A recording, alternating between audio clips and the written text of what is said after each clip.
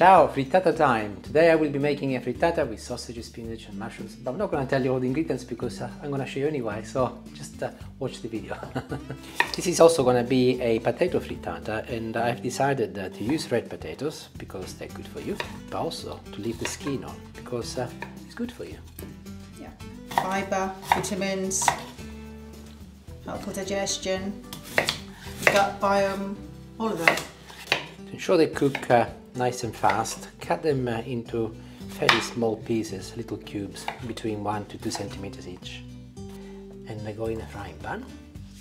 Sprig of rosemary, fresh from the garden, and uh, it's wet because it's raining outside again. I'm gonna give this a very quick rough chop and I'm adding it in.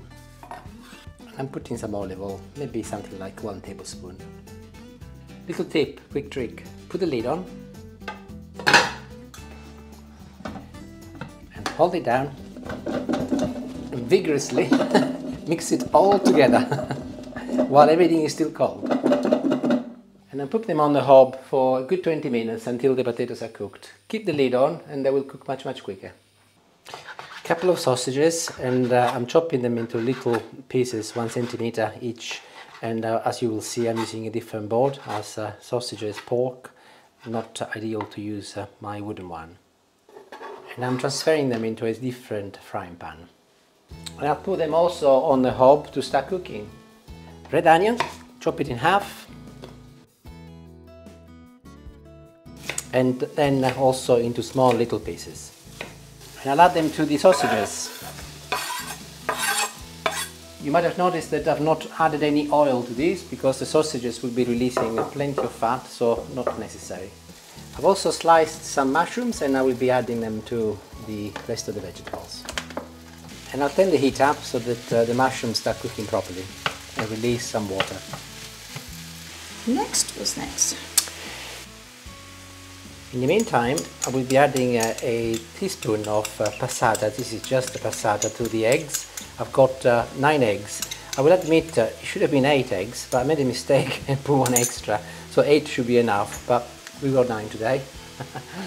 Cannot count. No. Odd for an accountant, but there you go. There you go, indeed, yes. and uh, whisk it all together with a hand whisker. Did I ask why just one teaspoon of passata? To give it some colour. Perfect. While I wait, I will be adding uh, some of my cheese uh, into the egg mix. So here is some grated cheddar and also some uh, Parmigiano, Parmigiano Reggiano, or you can use uh, Grana Padano. Actually, I think this is Grana, not Parmigiano. And uh, I'll keep some for later as well. And uh, mix it in. Don't forget you got stuff cooking here, so occasionally come and give it a little stir. Let's have a look at the potatoes. Oh, wonderful.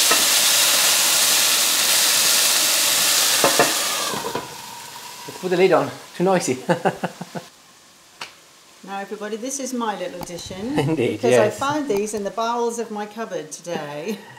and we thought we'll uh, try. date, so we better eat them. So these are peppers which, uh, as Julie said, they were in uh, the bottom of our cupboard, forgotten, and uh, they are pickled in uh, vinegar. I've actually left them uh, on top of some um, paper, some kitchen paper, to dry, because I don't want them to be too liquidy. But I'm quite excited actually because they are nice and strong in They're flavour. smoked as well, I think, aren't they? Yes, Grilled or something. yes, yeah, they're it should be grilled, they're roasted, they're nice and um, the word I was strong in flavour. And uh, so it'll be interesting to see what happens once we cook them. And I'm going to leave them uh, in fairly long chunks so that uh, they will be visible at the end. And I can add them now.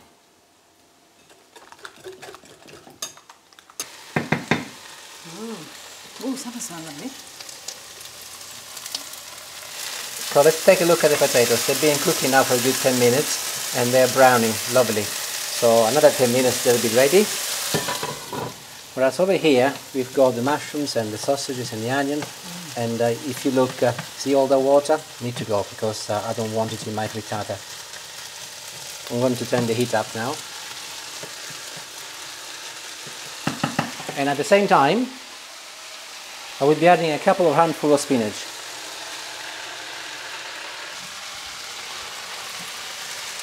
And Julie's taking over. Sorry, sometimes the temptation to stir something is just too strong. Go on, you do it. So you carry on. you do well. No, it's hard to hold the camera and stir at the same time. A little tip, when you're making a frittata, the real trick is that uh, all of the ingredients are cooked before they go in the oven. The only thing that really should be cooking is the eggs.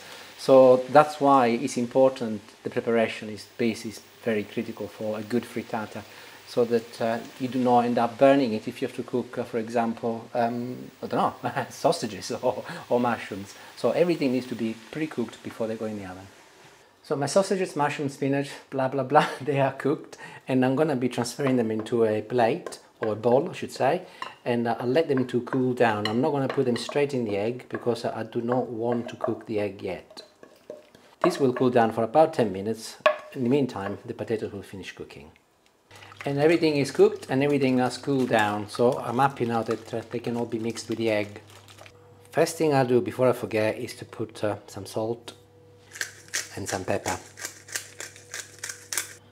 And I'll go in with my mushrooms first. And here are the potatoes, by the way. If you look, they're lovely and crispy. And uh, I'm going to try one actually. Mmm, delicious. They can naturally be eaten just as they are, but if you do, they need some salt, of course. At the Don't moment, no me. salt. Don't tempt me. no, I know, you're dangerous. And I'll add them in as well.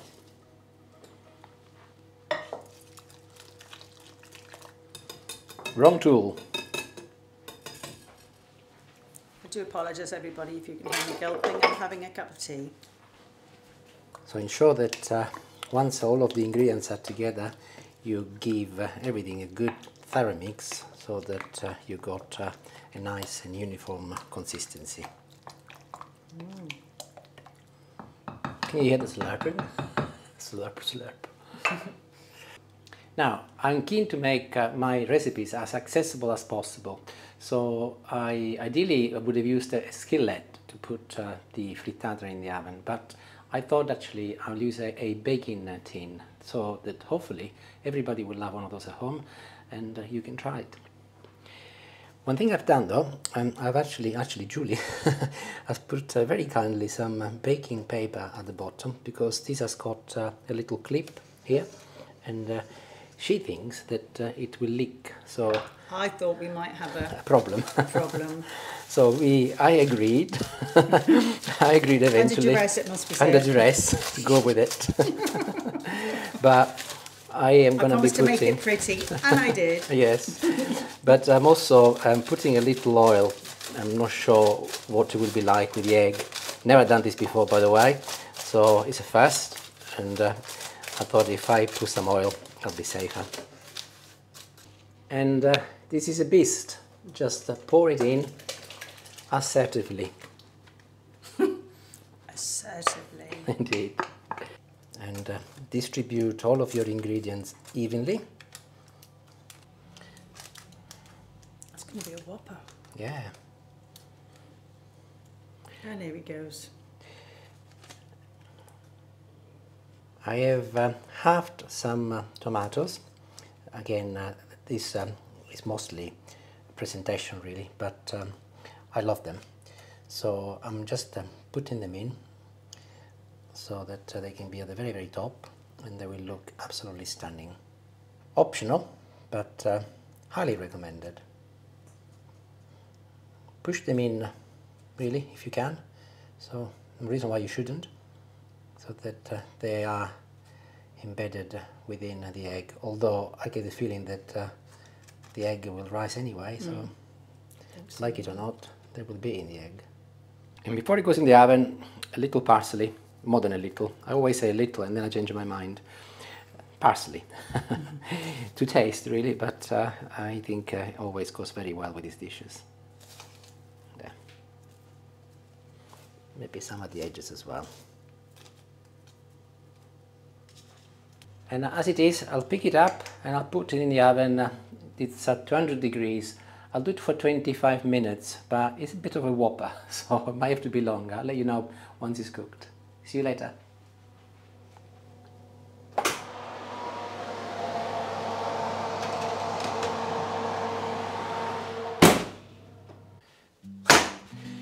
Voila! Smells delicious. Right, I've got uh, a confession to make. As well as not being able to count, I was wildly out with the time. It wasn't 20 minutes, it was 40. So, however, uh, what I did, uh, the first 20 minutes, 200 degrees, I did uh, the skewer test, just like you do with a, with a cake. And uh, when I put it in, it was all liquidy. As you can see now, it's all lovely and clean, clean as a whistle. So what I did, I turned it Too down. long. Clean as a whistle. Clean as a whistle. I turned it down to 160 degrees for another 20 minutes, but also I covered it so it didn't burn at the top. So if I was to do it again, I would say 180 degrees for 40 minutes and maybe you can cover it for the first 20. Just like a cake, I'm going to open the tin. Oh, it's hot still, but I'll leave. That's what these are for, dear. I know.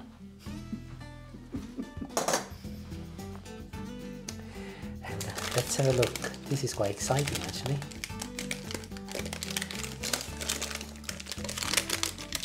Oh, I'm glad I put some olive oil though. Because it's a little bit sticky, but uh, it's working.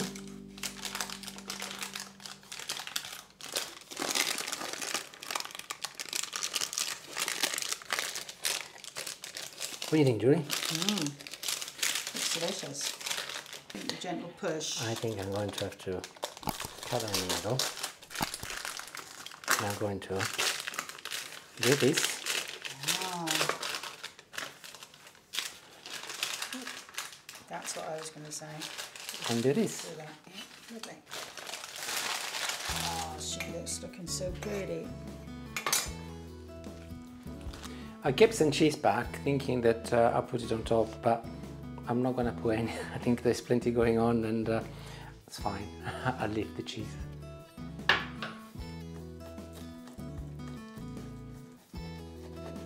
Consistency wise, it feels absolutely great.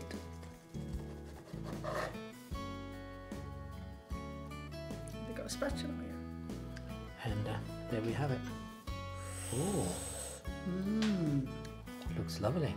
Steaming hot, but lovely. And I'm gonna try some now. Oh God, the smell is good. I can smell the sausages quite strongly actually. Mmm. Mmm.